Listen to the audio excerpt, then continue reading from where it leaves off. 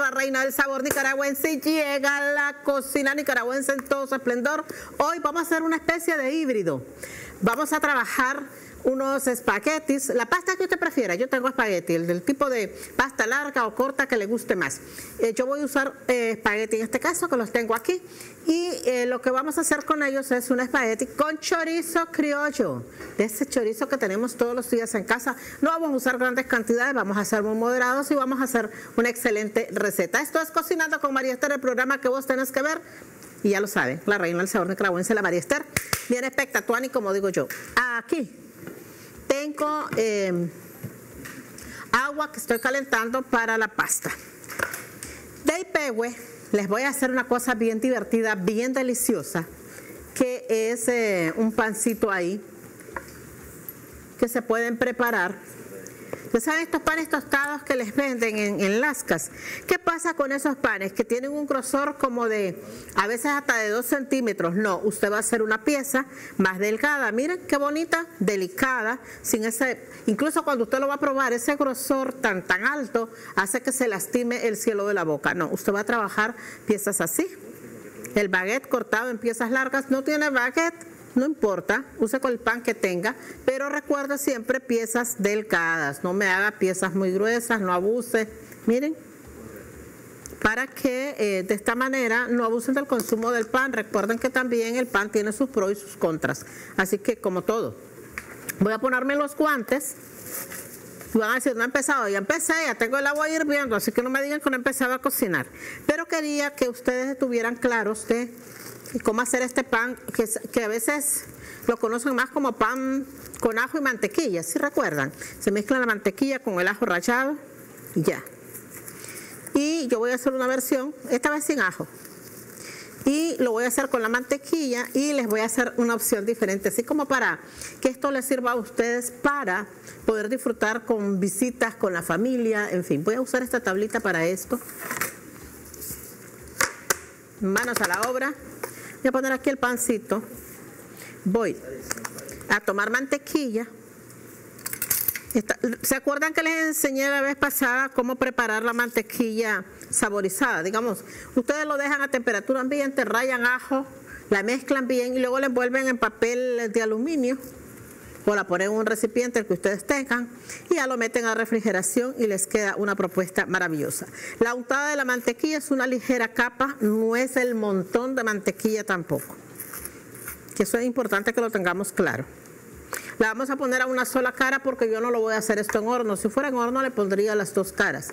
Pero aquí no porque voy a trabajar directo a la paila, al, al, en este caso a la planchita. Y a quedar planchada con ustedes. Ah, miren, pero son trocitos pequeños de mantequilla, no es el montón. Y lo untamos apenas así, vean. Qué fácil, muchachos. ¿Ya vieron? Ah, mis amores. Tuan y fácil, delicioso, sin tanta cosa.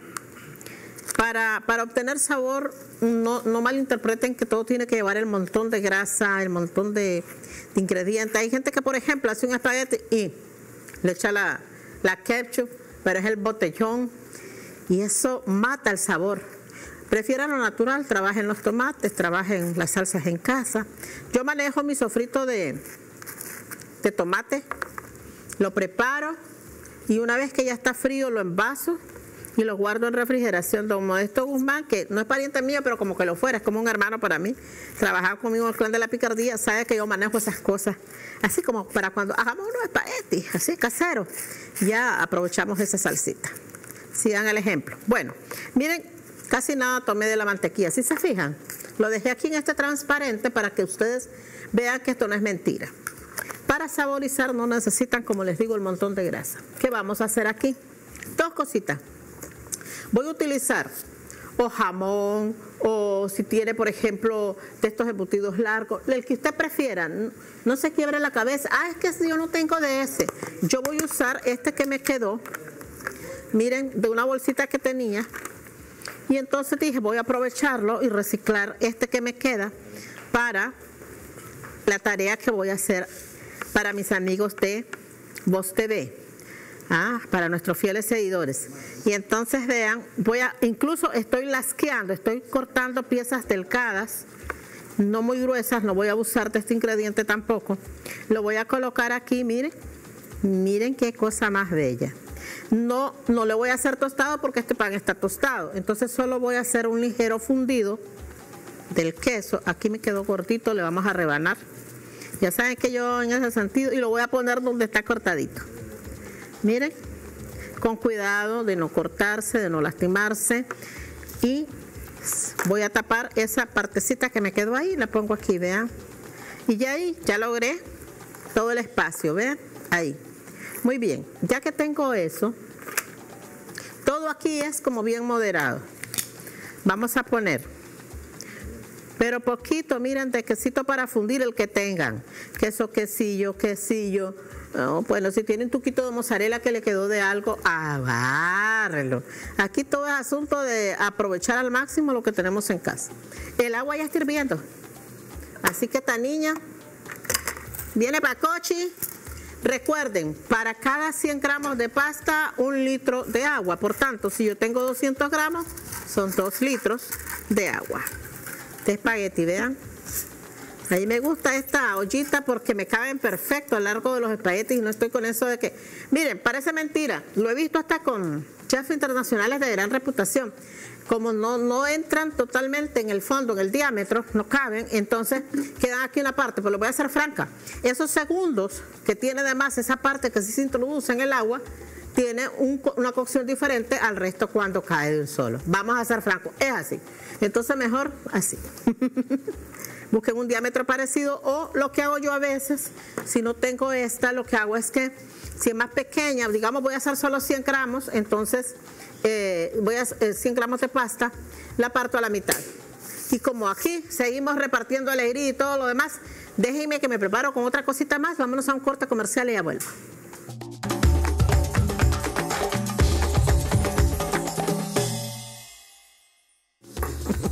Vean que este, cuando pongan a cocer este tipo de pastas que ya vienen preparadas, que vienen secas, eh, hay que agregarle sal, bastante y también póngale un chorrito de aceite porque estas pastas generalmente son al huevo. Es mejor ponerle un chorrito de aceite. Vean, al huevo significa que se utiliza además del agua el huevo para mezclar, digamos, hacer la masa y luego crear en la pasta. Un día, un día vamos a hacer pasta de cero para que aprendan a hacer la pasta. ¿Les gustaría, muchachos? Ah, aprender a hacer pasta en casa, pasta casera. Es fácil, práctica y deliciosa. Nada, nada se compara con la pasta recién hecha en casa. Ya que sí. Bueno. Aquí como estoy de afán, tengo que hacer toda la receta, entonces no, pero ese día sería solo aprender a hacer la pasta, no vamos a hacer receta en sí más que la pasta como principio, ¿verdad? Bueno, entonces, vean aquí, voy a poner el último puchito de, de quesito. Si ven, vean, yo les muestro todo en transparente para que ustedes tengan una idea. Fíjense que esto venía hasta aquí de quesito nada más. Casi no he usado, eh, digamos, eh, una gran cantidad de quesos. Tonterita. Solo para hacer el alboroto, como digo yo. Y de esa manera no abusamos de ingredientes y nos cuidamos en la salud. Entonces vamos esto lo puede, vean, es que es una cosa rara esto de, esto sí lo tengo que decir, voy a la defensa de la gastronomía nicaragüense. Vea, cuando nosotros, como yo, los nicas que como yo, al estilo, al estilo de antes, consumimos en la catamal con tortilla, nos caen las nuevas generaciones. ¿Qué es eso? ¿Cómo va a creer que masa, masa con masa? Ajá. Ahora tengo un ejemplo clásico que les va a doler en el alma a las nuevas generaciones. Cuando ustedes pagan un restaurante o lo demás, les ponen un pancito tostado con la pasta, ¿sí o no? Ah, pero ahí no dicen harina con harina, harina de trigo con harina de trigo. ¿Verdad que no lo dicen? Ahí lo aplauden porque somos matamama. Tienen que ser matamama. Vean, puse un chorrito. Ay, qué rico cuando digo esas cosas. ¿Ah? Cuando defiendo mi gastronomía. Vean, les voy a decir también, la masa de la catamal es un tipo de masa que va muy preparada, muy condimentada, pero además incluso la forma de trabajar, el nesquizado de el maíz y el maíz como tal para la masa de nacatamal es muy diferente de cómo se trabaja para la tortilla. Se hace el esquizado normal, pero luego hay que lavarlo bien y luego hay que volverlo a poner hasta que pozolee, es decir, hasta que reviente en flor todo el maíz. Eh, después ya de que ya se esquizó, que se lavó, que se enjuagó, se vuelve a poner en agua limpia y hasta que se revienta a fuego más controlado, claro. En, cambio, la tortilla se hace el nesquizado normal, se lava bien, se enjuaga bien tres veces para botar la plumilla o, cascarita o, pericarpio del maíz, que la, la telilla que lo recubre, ¿verdad? La cascarita que lo recubre. Y entonces ya después va a moliendas para después amasar bien todo eso, le van poniendo un poquito de agua, van haciendo que la masa se vuelva más manejable, más rica y después se, se lanzan las tortillas al comal. Eso es diferentísimo, no lleva sal, no lleva nada. Entonces es muy diferente a la masa que se prepara para el nacatamal, que se le pone achota, que se le pone naranjaya, que se le pone ajo, cebolla, ah, cantidad de cosas. Manteca. Nada que ver, son dos cosas distintas y distantes. Voy a remover aquí, que esto está calentando. Y vamos a, ahora sí, voy a bajar la llama. No ve, yo voy a bajar. voy a quitarlo para verlo. No ve tú, ya no ve tú, en serio. Entonces vean, aquí ¿Qué vamos a hacer? Un truquito. Solo para darle un toquecito abajo. Si bien yo puse apenas un toquecito de grasa, pero miren cómo es el aceite que cuando él calienta se pone delgadito, dirían las abuelas, ¿verdad? Diríamos las abuelas. Ralito. Entonces, miren, pero toquecito, no exageren. Toquecito, cuando yo toquecito es niriquiná. Y mezclamos esto todo. Miren. Los mezclamos y justo ahí, que ya estamos trabajando a fueguito bajo, Vamos a poner la tapa de la olla más grande, hijo, que tenés. La, de la olla, ¿verdad? Colocamos aquí. Miren, como les digo, esto está tostado porque este baguette, el baguette, si usted lo deja de un día para otro, se pone durito, tostadito. Entonces no hay necesidad de que nosotros hagamos otra cosa, ¿verdad? Ah, dame la negrita pues porque esta sí se hunde. La negrita tuya porque después voy a usarla esta. Gracias, corazón, gracias. Ok, entonces, ahora sí, vean, esta sí queda a flote. ¿Qué voy a lograr nada más? Que el vapor, el calor que se genera y que genera vapor va a hacer que el queso se vaya fundiendo. Y aquí me quedaron un poquito, no lo vamos a perder. se cae ahí un poquito, ¿verdad? Pacochi. Pacochi, todo esto está limpio, ya saben. Así que no hay manera que esto se nos ensucie. Y todavía nos falta un paso. Una vez que se funda el queso, le vamos a poner alguna gracia verde ahí. Vamos a ver cómo va en este caso el espagueti. Miren. Ah, chicos. Chicos, chicos, chicos. Me encanta. Me encanta. Un poquitito le falta. Minuto, dos minutos máximo. Ahí está. Casi el dente. encanta. Esto hay que vigilarlo, no me lo dejen a fuego alto, porque se les va a quemar abajo. Tienen que estar pendientes de que el queso vaya fundiendo, nada más. Y ahí lo tengo en fueguito manso. Entonces, miren, así de fácil esta receta. Yo tengo chorizo criollo, ¿verdad? El chorizo criollo es de cerdo. Yo les he enseñado, en, mis videos lo pueden encontrar, cómo hacer chorizo criollo de cerdo, o cómo hacer chorizo criollo de pollo Oiga, me queda divino con el pollo, en serio. Por ejemplo, para la gente que tiene problemas con el cerdo, con las carnes de res y todo eso, entonces no pasa nada. Nos vamos a un corte comercial y vuelvo con la preparación final de esta receta mientras estoy aquí fundiendo el quesito.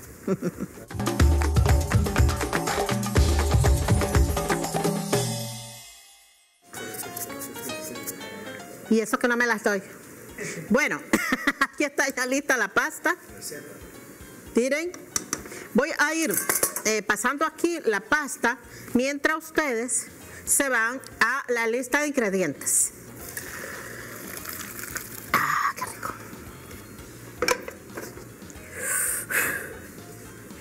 Bueno, para los espaguetis con chorizos necesitamos 200 gramos de espagueti, 2 litros de agua, y un poco de aceite y ya saben, un poquito de sal para, para la cocción de los espaguetis. 4 onzas de chorizo criollo y además eh, una taza de tomate, del sofrito de tomate, que es el que le cuento que yo ya tengo. Una taza de caldo de los espaguetis. Y además de eso, eh, necesitamos albahaca, pimienta y sal. Luego para el pan, una tres, puse cuatro porque una me la tengo que comer yo. Rodajas de pan, un poco de mantequilla, perejil picado, una lasca de jamón, orégano seco y picado también. Bueno, por aquí tengo aceite que lo vamos a poner ya en la pailita que la estoy calentando. Apenas, no me exageren. Y les voy a dar un consejito, ya se los he dado en otra ocasión. Retiramos eso, corazón. Le vamos a poner un chorrito de aceite a esto, pero chorrito, solo para que no se nos pegue ahorita. Chorrito, ¿ya vieron? No exageré. Y con mi eh, trinchante cobra, que se me le quebró ahí uno, pero sirve. se le quebró una parte del diente. Ratoncito, ratoncito, me da, te doy mi diente y me das el tuyo. Necesito una tacita, ¿viste, joder? Ajá. Sáqueme la corazón y me la pasa, por favor. Bueno, entonces aquí vamos a agregar el chorizo que lo tengo en mi refrigeradora portátil. pues se la voy a presentar, miren. Mi termito cobra. y lo manejo con hielo y, ya me sirve bastante. Entonces, voy a poner el chorizo, ahí póngamelo corazón. El chorizo, miren, apenas 4 onzas, miren que no voy a abusar con esto. Voy a hacer nada más que el chorizo vaya em, tomando cocción y la única seña es que se ponga marrón, es decir, que cambie un poquito el color, que se oscurezca y ya. Pero si ven, no es una gran cantidad. El chorizo tiene una gran ventaja y por eso no me ven usar cebolla, no me ven usar ajo, eh, no me ven usar notas de acidez adicionales, porque el chorizo lleva ajo, cebolla, vinagre, pimienta, sal, eh, lleva también clavo de olor, en fin, su achote. Entonces hay muchos, muchos elementos en esto que es, maravilloso y como es un poquito fuerte su sabor, me va muy bien para lo que estoy pretendiendo lograr el día de hoy. Por aquí, ahí está, miren el quesito fundido, chicos, mientras va cocinando eso. Entonces, número uno, le vamos a poner para decoración, ya saben, ahí que se quede pegadito el perejil en el queso fundido, por eso no se lo puse antes, para que quede encima. Miren qué bonito, muchachos. Y si quisiéramos, por ejemplo, un toquecito de orégano, pues eso lo voy a dejar así como muy caprichoso. Miren.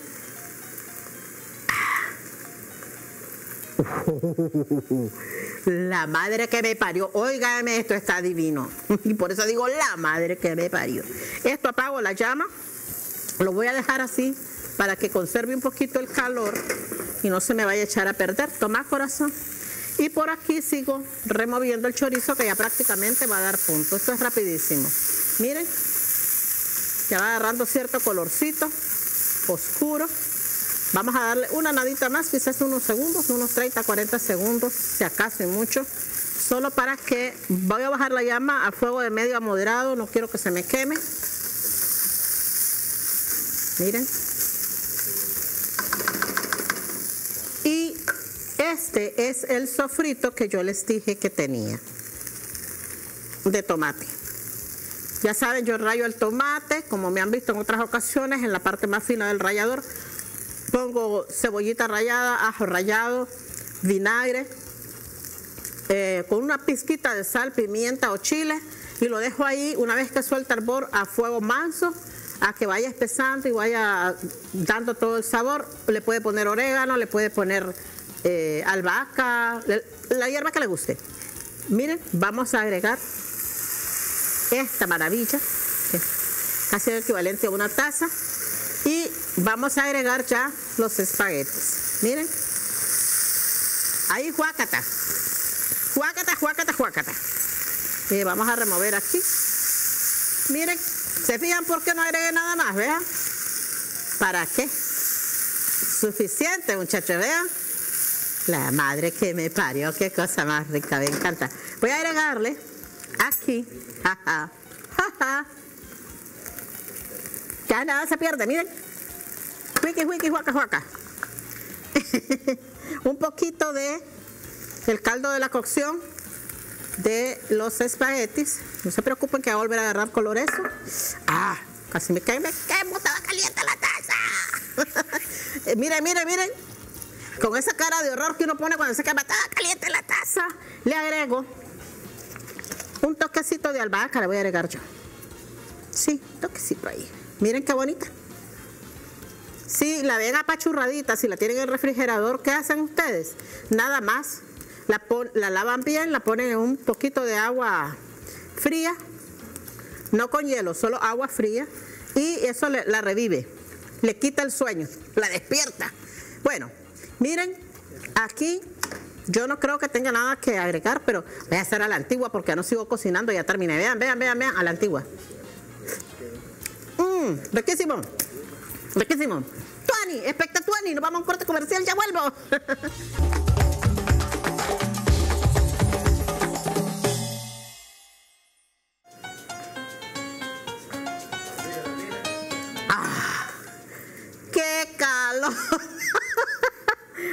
es que se alborotaba el calor.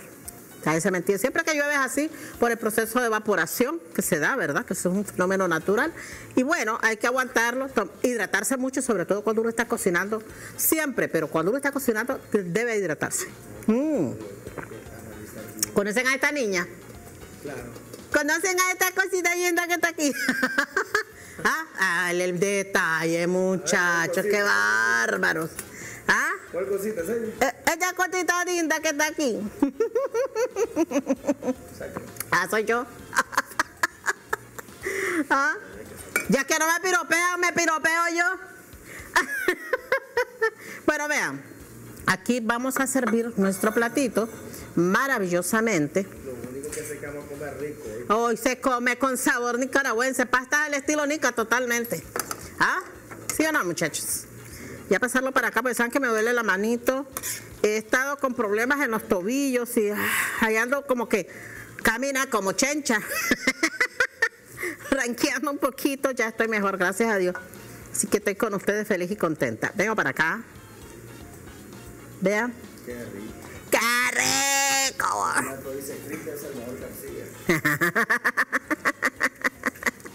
Cristian Salvador García dice que está presente. ¿vieron cómo lo serví yo ahorita? Estoy, doy vuelta aquí, giro un poco con las tenazas, agarro la porción que voy a agarrar, le voy a poner un poquito más, porque ahí estaba la porción, pero bueno, este, entonces, vean, escurren un poco, pasan al plato, pero igual lo ponen de punta para que esto les quede así levantadito. ¿Sí se vio, muchachos? Correcto. Correcta, Ale. Y voy a ponerle un poquito de la salsa aquí, que se hizo con, el caldo de la cocción de los espaguetis y con el chorizo. Después lo voy a dar vueltita al plato, muchachos, porque estoy emplatando para mi lado. Bueno, entonces, miren, chicos, cómo se ve ahí el chorizo. ¡Qué brutal! Y lo que les decía, ah, aquí lo dejo, hijo, no importa, tapadito. Eh, lo que les decía acerca de el complemento que le ponen en algunos lugares. Vea, ahí está, muchachos. Sí, cierto. Ahí está. Pues si quieren esta belleza, así. Y aquí. Ah, muchachos. Si se quejan es del gusto. Hombre, y si se quejan yo me asusto. Porque es que cómo se van a quejar de esta belleza. ¿Ah? Wiki Wiki, Waka Waka, ya saben. Miren. Esta era Juan Estera que comió Coti y le dio entera, mis amores. Esto es Cocinando con María Esther, el programa que vos tenés que ver. Voy a comer mi pancito y nos vemos en la siguiente emisión. Qué rico.